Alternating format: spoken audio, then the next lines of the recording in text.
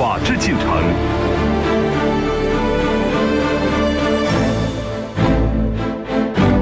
今日说法。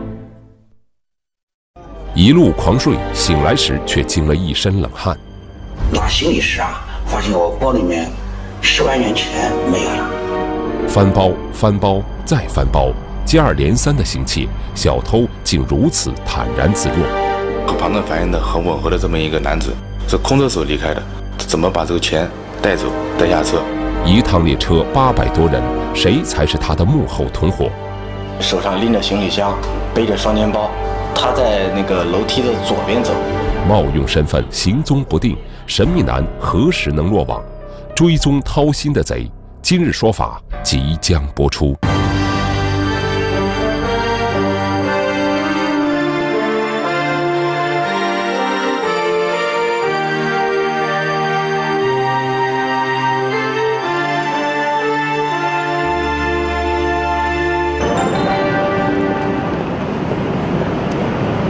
这是由南京开往上海虹桥的高七幺零三次列车，每天早上七点二十五分准时发车。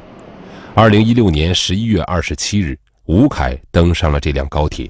上车后，吴凯顺手将挎包放在头顶的行李架上，然后坐了下来。由于头天呢，这个赶上这个赶车啊、赶路程啊比较辛苦，我上车不久呢，我迷迷糊糊就睡着了。睡着以后呢，这车很快到了上海虹桥以后呢。我拿行李时啊，发现我包里面十万元钱没有了。十万元也不是个小数目。发现被盗后，失主吴凯第一时间报了警，南京铁路警方随即展开调查。这个旅客是从南京站上车，然后到上海虹桥站才发现，中途呢他也没有这个把他的包拿下来看，所以说具体这个十万块钱现金是在哪个站被盗，在哪个区间被盗，他提供不出任何的一些情况。各位好，这里是今日说法。电影《天下无贼》里的那个傻根儿，让人印象深刻。傻根儿带着六万块钱上了火车，一桩火车盗窃案也就此拉开帷幕了。现实生活比电影更精彩。我们今天节目当中的吴凯，带着十万块钱上了火车，结果同样被偷了。在旅客玩手机或者睡觉的时候，小偷趁机把他们的挎包从行李架上拿下来，偷走里边的钱，再把包放回原处。这种作案手法被铁路警方称之为“掏心”。那偷走吴凯这十万块钱的掏心大盗，究竟是谁呢？面对询问，失主吴凯提供不出任何有价值的线索。吴凯的座位号为四车十二 D，以这个点为中心，侦查员尝试着联系吴凯周边的旅客。毕竟现在火车票都是实名制，购票信息能够显示吴凯身边当时坐了哪些人。失主座位后面的几排的旅客。找了几个都没有提供，就是说有价值的线索。然后呢，我们在失主正后排找到了一名旅客，呃，他反映了一个很重要的一个情况。坐在十三 D 的这名旅客姓李，叫李明军，他向警方提供了一个重要线索。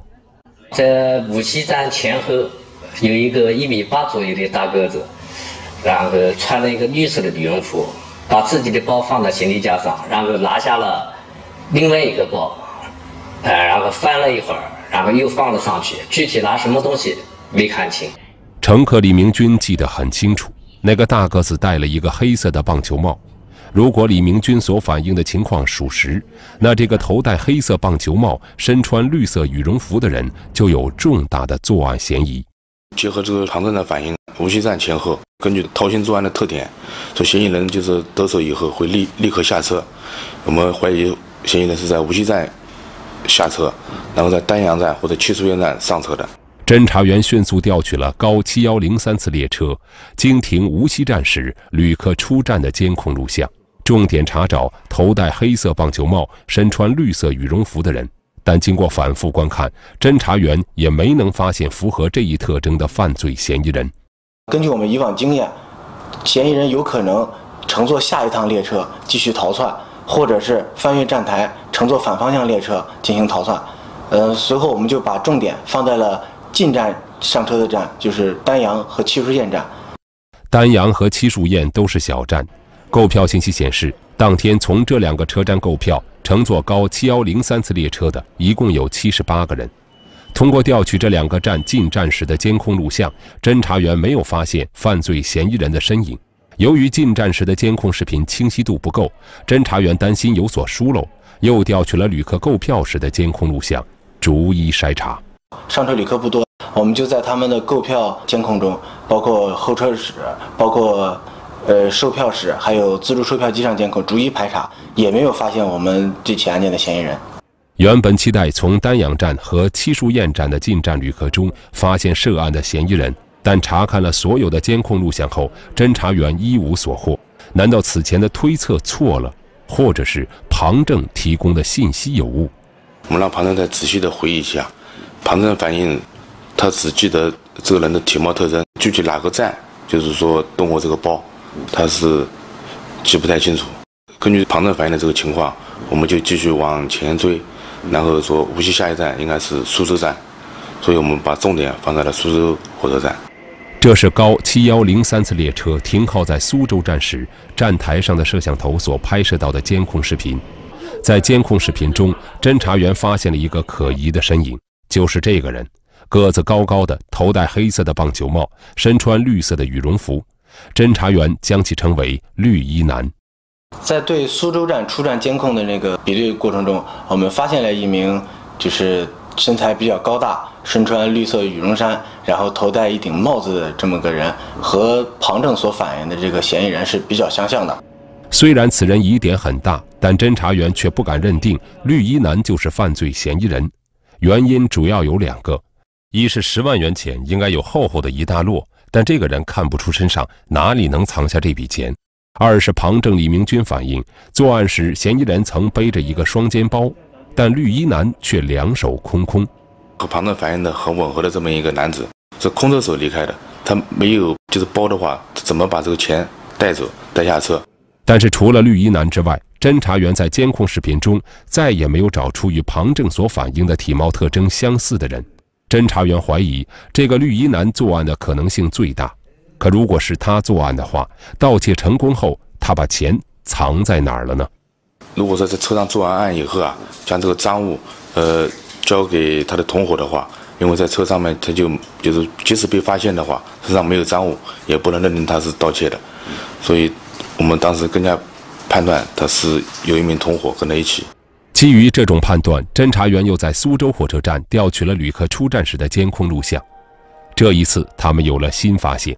这就是那个绿衣男，他头戴黑色的棒球帽，身着绿色羽绒服，此时正准备出站，但这个时候他的身上比下火车时多了一个双肩包。侦查员猜测，这个双肩包应该是同伙带给他的，只是这个同伙是谁，侦查员一时也无法查明。锁定嫌疑人之后，随后就继续排查他的去向，包括火车站的这些监控啊。随后我们排查到他在火车站边上乘坐了一辆摩的车。侦查员立即赶到绿衣男乘坐摩的的地方，展开走访调查。由于绿衣男超过一米八，这样的身高很醒目，因此侦查员没费多大力气就找到了当时载过他的摩的司机。据摩的司机回忆，他当时把绿衣男送到了苏州市的石路步行街。后来我们就到了石路步行街，到了步行街之后，发现这个地方还是地形也比较复杂，商铺也很多。具体这个人的去向到了哪里，我们也没办法再追查出来。进站时，他推着一个拉杆箱；下车时，他却两手空空。更加判断他是有一名同伙跟他一起。视频追踪，嫌疑人终于露马脚。根据他的这个操作，他当时在自助售票机上购票，发现了他当时是购买了两张车票。追踪掏心的贼，今日说法继续播出。苏州市的石路步行街人流如织，侦查员没有办法再追查绿衣男的下落了。回过头来，他们开始重点调查这个绿衣男是从哪儿上的火车。高七幺零三次这趟列车是经停了丹阳站、七树堰站和无锡站之后，才停靠到苏州站的。此前，侦查员已经查明绿衣男没有从丹阳和七树堰这两站上车，那剩下的唯一可能就是绿衣男是从无锡站上的火车。这是无锡站 A 二检票口的监控录像，侦查员从中发现了绿衣男，但此时他除了背着一个双肩包外，手里还推着一个黑色的拉杆箱。购票信息显示，当天有四十多人从无锡站乘坐了高七幺零三次列车。侦查员坚信，绿衣男就隐藏在这四十多名旅客当中。掏心的手法，并且一下子就掏了九万块钱现金，他应该是一个惯犯，以前有过这个犯罪前科的。所以我们把这个四十名左右无锡站上车的旅客的信身份信息啊，放到我们这个犯罪嫌疑人库里面进行了比对，但是也没有发现，就是说这四十名当中有符合这些前科特征的人员。用这四十多名旅客的身份信息与前科人员进行比对，侦查员并没有碰撞出绿衣男的真实身份，他是谁，仍旧是个谜。此路不通，侦查员又想出别的办法。他们调出这四十名旅客购买火车票时的监控录像，逐一进行比对。就是把无锡站进站的这些人的购票影像逐一排查之后，没有发现与犯罪嫌疑人体貌特征相近的这么个人。要不然呢，就是他没有去窗口购票，也没有去自助售票机购票。从购票时的监控录像，侦查员也没能筛查出绿衣男，他们有些气馁了。还有什么办法能够锁定绿衣男的真实身份呢？侦查员回过头来，再一次观看苏州站出站时的监控录像。他们一个画面一个画面的看，以期从中有所发现。就出站的时候，就是跟这名嫌疑人，就是说走得很近的、非常接近的这么一名旅呃旅客的话，他手上是推着拉杆箱的，并且他戴了一个帽子，个子不太高，走路呢腿还有点瘸，这些特征就很明显。哎，这个特征是比较明显的。这是苏州火车站出站口的监控录像，在绿衣男之前出现了一个头戴浅色棒球帽、身着黑色上衣的人。当时他推着一个黑色的拉杆箱，准备出站。由于他和绿衣男一前一后离得很近，再加上手里推着一个黑色的拉杆箱，因此这个人引起了侦查员的怀疑：他会不会是绿衣男的同伙呢？重新查看了这个苏州站站台的监控，在站台监控中呢，呃，看到这名这个个子比较矮的这个人，他呢，呃，手上拎着行李箱，背着双肩包，然后呃，从也是从这趟车子下车了之后，他在那个楼梯的左边走。这是列车停靠时站台上的监控视频，头戴浅色棒球帽、身着黑色上衣的这名男子走下了高七幺零三次列车。当时他除了斜挎着一个挎包外，右手推着一个黑色的拉杆箱，左手拎着一个浅色的双肩包，朝楼梯左侧走去。因为这个人走路一瘸一拐，辨识度很高，侦查员一眼就认出他就是出站时走在绿衣男前面的人。与此同时，犯罪嫌疑人绿衣男也出现了，但他两手空空，朝楼梯的右侧走去，两个人之间没有任何交集。但当走到闸机口时，原本这名黑衣男子左手拎的双肩包不见了，取而代之的是绿衣男的身上多了一个双肩包。这种细节上的变化让侦查员确信，这两个人是结伴而行的同伙。在这个无锡站的购票呃监控当中，没有发现这个嫌疑人的这个呃购票信息，所以我们怀疑是不是同伙帮他买的票。所以我们在无锡站购票信息当中，就是仔细寻找。就是戴帽子的这名男男子。这一次，侦查员终于有了重大发现。这是无锡站自动售票机上监控探头所拍下来的画面。二零一六年十一月二十七日上午八点零二分，一个头戴浅色棒球帽、身着黑色上衣的中年男子走到自助售票机前，准备购票。在无锡站这个购票的录像当中啊，发现了这名身材较矮的这名嫌疑人的这个呃购票记录的影像，然后。又根据他的这个操作，他当时在自助售票机上购票，发现了他当时是购买了两张车票。购票信息显示，当时这个人购买了两张火车票，因为火车票都是实名制的，侦查员一下子就锁定了这两张火车票的购买人，一个叫陆伟，江苏南京人；一个叫宋新礼，黑龙江省富裕县人。根据这个陆伟这个身份证信息。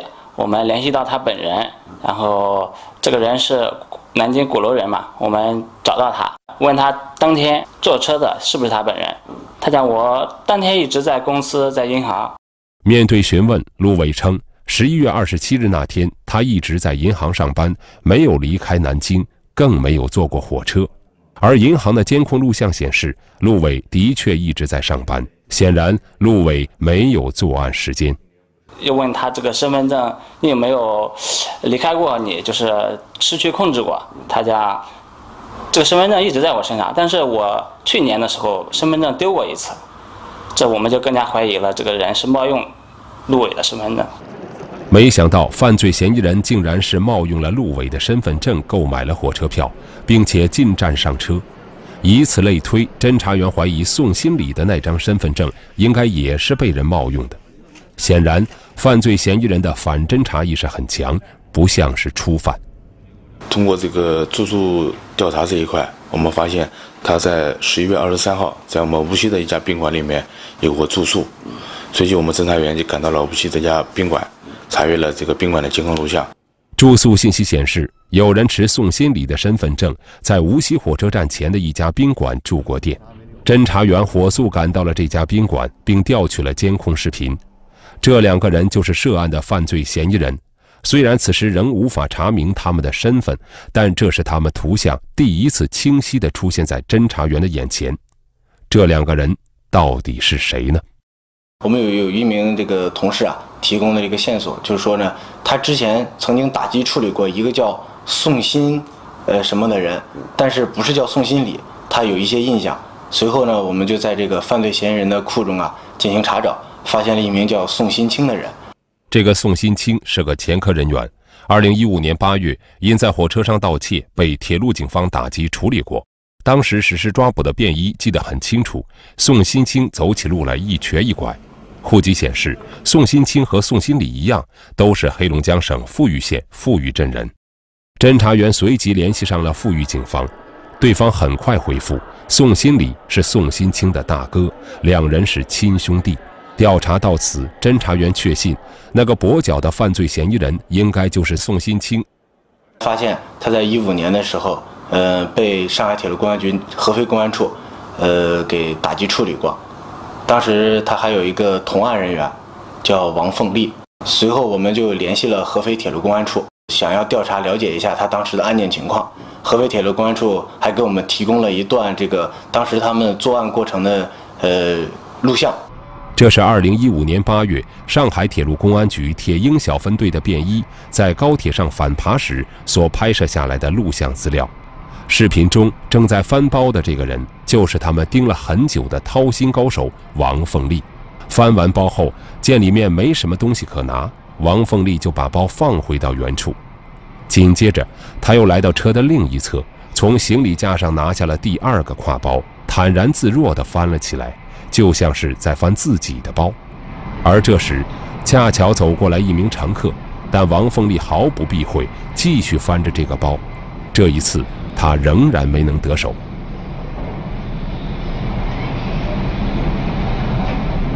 停顿了一会儿，王凤丽又从行李架上拿下了第三个挎包。她发现包里有钱，就把钱偷了出来，揣进了自己的裤兜里。随后，王凤丽又把挎包放回原处。就在王凤丽准备离开时，便衣出手了，将他一举拿下，人赃并获。因为偷了一万四千六百元现金，王凤丽后来被法院判处有期徒刑一年零三个月。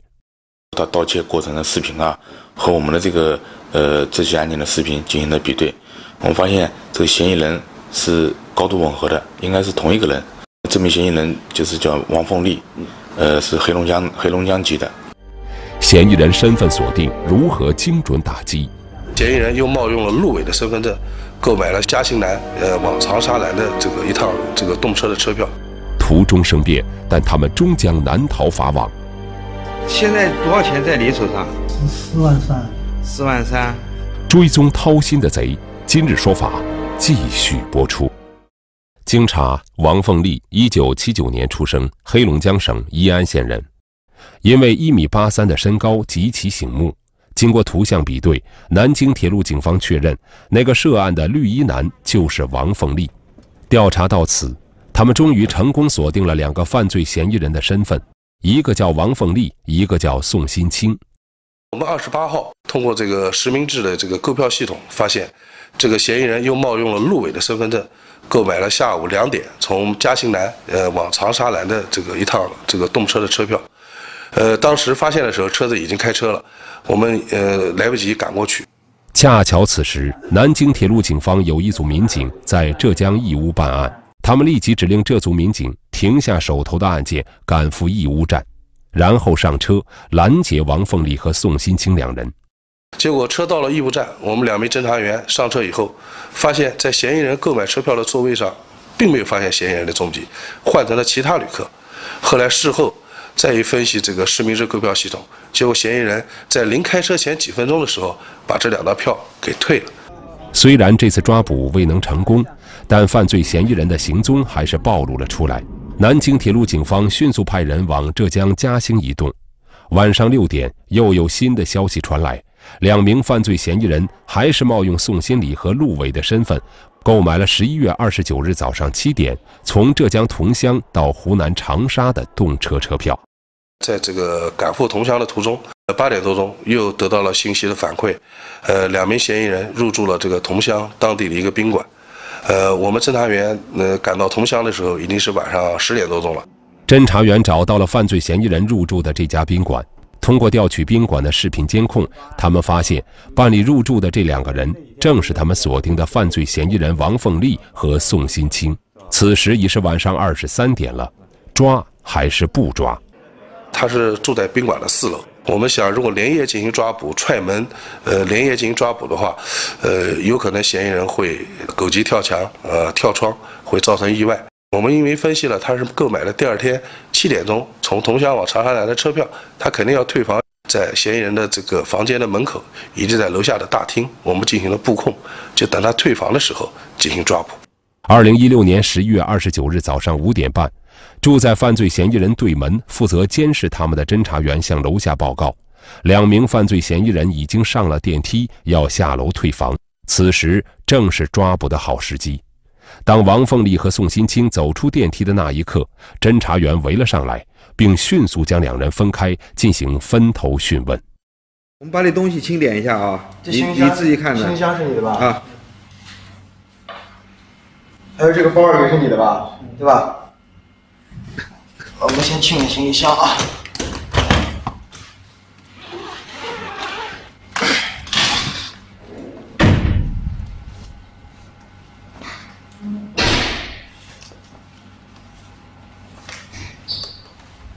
现在多少钱在你手上？四万三。四万三。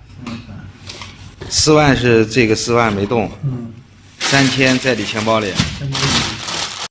这是犯罪嫌疑人宋新清的行李箱，侦查员在里面找到了四万元现金。与此同时，他们也在王凤丽的行李箱中发现了四万元钱。在证据面前，两人低头认罪。拿我点钱回家，不能空手回呀。我说我想回家了，那个那个，完事喝点酒，完就答应了。一看不是，领完人就跑了。对，对。当时里头有多少钱？九万。你分着款了，你就得抓你。啊，你分分了四万多是吧？对，在你包里了。对，也不后悔。后悔有什么用？后悔要上哪里去买啊？后悔有用？后悔法律会减轻我罪行吗？后悔，后悔能不判我吗？后悔有啥用呢？失主报案时称自己被偷了十万，可王凤丽称他们当时只偷了九万元，这中间的差错出在哪儿呢？侦查员再一次联系上了失主吴凯。当时呢，我匆忙之中呢，我印象当中感觉呢，好像是放了十万元钱。但是事后经过我仔细想呢，由于这个前段时间加上自己零用，可能是一万一万三路，嗯，好像是九万九万块钱。